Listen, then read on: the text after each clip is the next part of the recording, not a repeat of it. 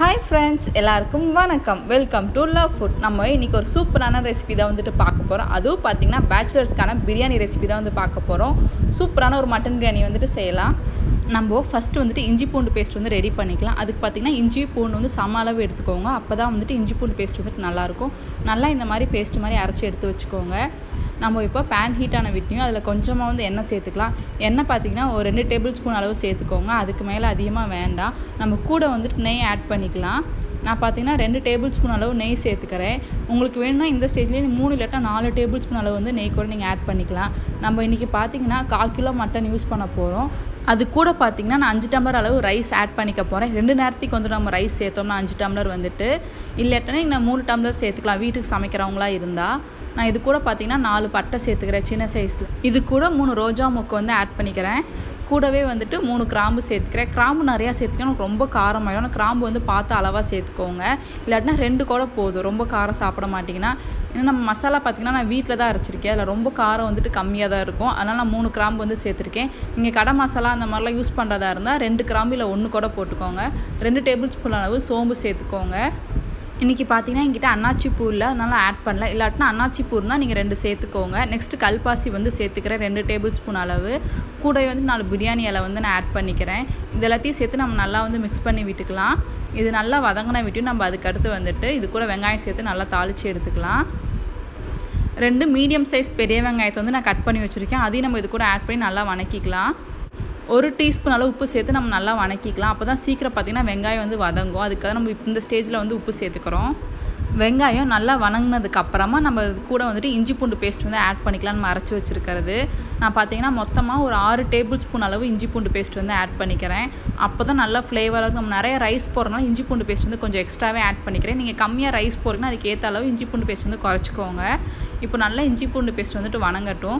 கைவிடாமல் நல்லா மிக்ஸ் பண்ணிகிட்டே இருங்க. இல்லாட்டினா அடி பிடிச்சிரும். இப்போ உங்களுக்கு பார்க்கும்போதே தெரியும். இஞ்சி பூண்டு பேஸ்ட் வந்து நல்லா வணங்கிருச்சு. நம்ம இந்த ஸ்டேஜில் வந்து தக்காளி ஆட் பண்ணிக்கலாம். நான் பார்த்தீங்கன்னா மூணு மீடியம் சைஸ் தக்காளி வந்து கட் பண்ணி வச்சுருக்கேன். நம்ம இது கூட சேர்த்துட்டு நல்லா மிக்ஸ் பண்ணிக்கலாம். தக்காளி வந்து நல்லா வணங்கட்டும். இப்போ பார்த்தீங்களா? தக்காளி வந்துட்டு நல்லா வணங்கிருச்சு. நம்ம இந்த ஸ்டேஜில் வந்துட்டு மூணு பச்சை மிளகாய் இது கூட கொஞ்சமாக புதினா கொத்தமல்லி வந்து சேர்த்துக்கலாம். இந்த அளவுக்கு நல்லா வதக்கிக்கோங்க. நீங்கள் நிறைய எண்ணெய் நெய் சேர்த்திங்கன்னா தனியாக பிரிஞ்சிடும் நான் கம்மியாக தான் வந்துட்டு எண்ணெய் நெய்லாம் ஆட் பண்ணியிருக்கேன்.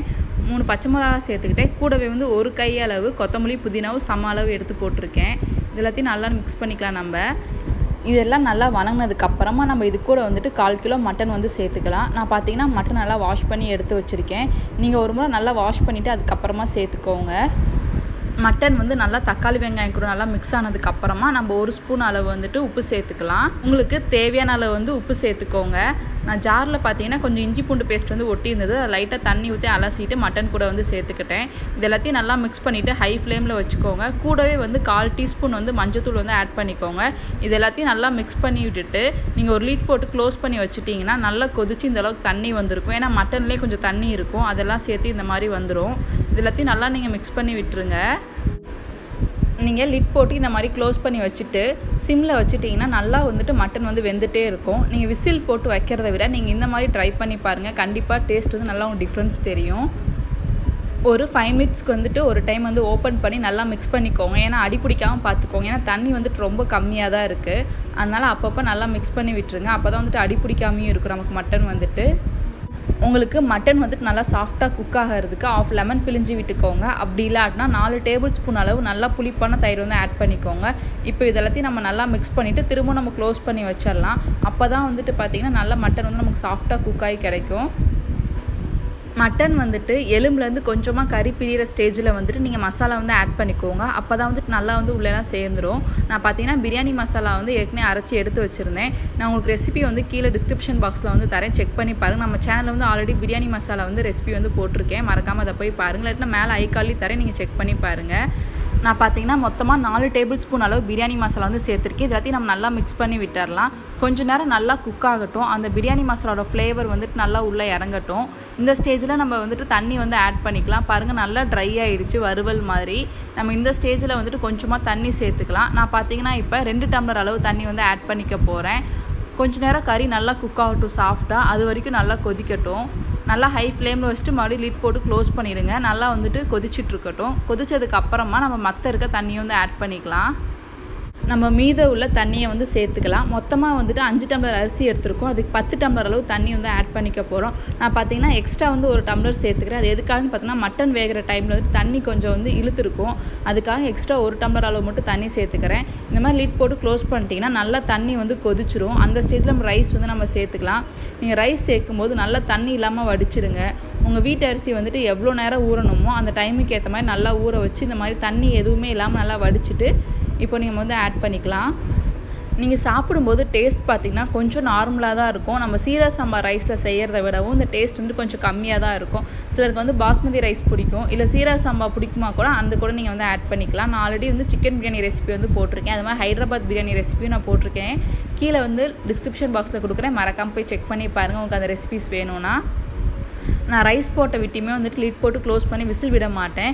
கொஞ்ச நேரம் நல்லா இந்த மாதிரி மிக்ஸ் பண்ணிகிட்டே இருப்பேன். ரைஸ் பார்த்தீங்கன்னா ஆஃப் பாயில் அளவுக்கு நல்லா வெந்துருச்சுன்னா அதுக்கப்புறமா நம்ம லிட் போட்டு க்ளோஸ் பண்ணிவிட்டு ஒரு விசில் விட்டாலே போதும். ரைஸ் பார்த்திங்கன்னா நமக்கு சூப்பராக வந்து ரெடி ஆயிரும். அடிலி பார்த்திங்கன்னா அடி பிடிக்காது. குக்கரில் பிரியாணி செய்கிறப்ப பார்த்தீங்கன்னா மேக்ஸிமம் அடி பிடிச்சிரும்.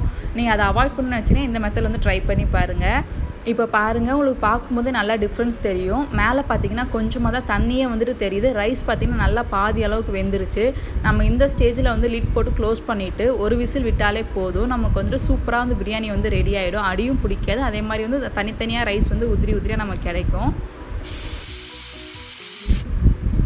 பாருங்கள் ஒரு விசில் வந்துட்டு நீங்கள் வந்து ஸ்டவ்வை வந்து ஆஃப் பண்ணிவிடுங்க நீங்கள் அப்படியே வந்து வச்சுட்டிங்கன்னா ஒன் ஹவருக்கு நல்லா வந்து ரைஸ் நம்ம குக் ஆகிடும் நான் ஒன் ஹவர் கழித்து ஓப்பன் பண்ணி உங்களுக்கு காமிக்கிற பாருங்கள் நல்லா ஆவிலாம் அடங்கிடும் அதுக்கப்புறமா ஓப்பன் பண்ணுங்கள் ஃபஸ்ட்டே நீங்கள் ஓப்பன் பண்ணிட்டீங்கன்னா நல்லா குக் ஆகிருக்காது இப்போ உங்களுக்கு பார்க்கும்போதே தெரியுதா நல்லா சூப்பராக ரெடி ஆகிருக்கு நான் மேலால் வந்துட்டு ஒரு டேபிள் ஸ்பூன் அளவு நெய் சேர்த்துக்கிறேன்.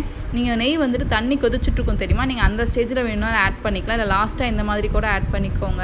நீங்கள் ஃபஸ்ட்டே நிறைய நெய் சேர்த்துக்கணும். சாப்பாடே நல்லா மிக்ஸ் ஆகி நான் கம்மியாக தான் வந்து சேர்த்துருக்கேன். பாருங்கள் அரிசி குழஞ்சே போல் நல்லா சூப்பராக நமக்கு வந்துட்டு ரெடியாக இருக்குது அடியில் பாருங்கள் நமக்கு அடியும் வந்து பிடிக்கல. நல்லா சூப்பரான பிரியாணி வந்து நமக்கு ரெடி ஆகிடுச்சு நீங்கள் இந்த மாதிரி வந்து மறக்காமல் உங்கள் வீட்டில் வந்து ட்ரை பண்ணி பாருங்கள் நீங்கள் பேச்சுலர்ஸாக இருக்கீங்களா மறக்காமல் ட்ரை பண்ணி பாருங்கள் ரொம்பவே உங்களுக்கு யூஸ்ஃபுல்லாக இருக்கும். கண்டிப்பாக நீங்களும் மறக்காமல் உங்கள் வீட்டில் வந்து ட்ரை பண்ணி பார்த்துட்டு எனக்கு கீழே கமெண்ட் பண்ணுங்கள் நான் எக்ஸ்ட்ரா வந்துட்டு ரெண்டு டேபிள் ஸ்பூன் அளவு நெய் வந்து சேர்த்துக்கிறேன். லாஸ்ட்டாக அந்த மாதிரி சேர்த்திங்கன்னா உங்களுக்கு சாப்பிடும்போது கையில் லைட்டாக வந்து ஒட்டும். அது வந்து நிறைய பேர்த்துக்கு பிடிக்கும் அந்த மாதிரி சாப்பிட்றது. நீங்கள் ஃபஸ்ட்டே ஆட் பண்ணிங்கன்னா ரொம்ப சொத சொதன்னு இருக்க மாதிரி இருக்கும் நெய் வந்துட்டு. லாஸ்ட்டு அந்த மாதிரி சேர்த்திங்கன்னா மேலால் தான் இருக்கும். சாப்பிட்றதுக்கு ரொம்ப சூப்பராக இருக்கும். பாருங்கள் ரைஸ் நல்லா உதிரி உதிரியாக இருக்குது நீங்கள் மறக்காமல் ட்ரை பண்ணி பார்த்துட்டு எனக்கு கமெண்ட் செக்ஷனில் வந்து சொல்லுங்கள் எப்படி இருந்ததுன்னு சொல்லிவிட்டு நம்ம வீட்டு அரிசியில் செஞ்ச மட்டன் பிரியாணி வந்து நமக்கு சூப்பராக ரெடி ஆயிடுச்சு. நீங்களும் மறக்காமல் வந்து ட்ரை பண்ணி பாருங்கள் தேங்க்ஸ் ஃபார் வாட்சிங் உங்களுக்கு என்னோட வீடியோஸ் பிடிச்சிருந்தா மறக்காமல் லைக் பண்ணுங்கள் ஷேர் பண்ணுங்கள் கமெண்ட் பண்ணுங்கள் என்னோடய சேனலை மறக்காமல் சப்ஸ்கிரைப் பண்ணிடுங்க கூட இருக்க பெல் பட்டனையும் மறக்காமல் கிளிக் பண்ணுங்கள்